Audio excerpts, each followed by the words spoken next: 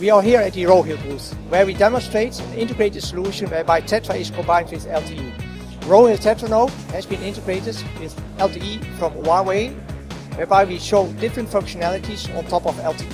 Uh, Rohill chose um, Huawei as their partner because of the fact that we are acknowledged as Huawei as a world leader in LTE and we also offer the broadest range of frequencies to cover with LTE.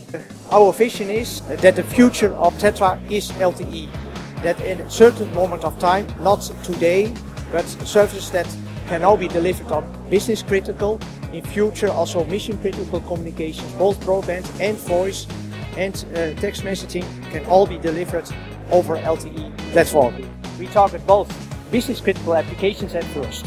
What we show here are examples of applications which can be used for business critical communications. Include airports, oil and gas, public transportations, business and industry, in which LTE can be used to provide broadband services. By integrating this with LTE, we can deliver voice and data, picture transfer, video, and other applications that require high bandwidth with a single platform.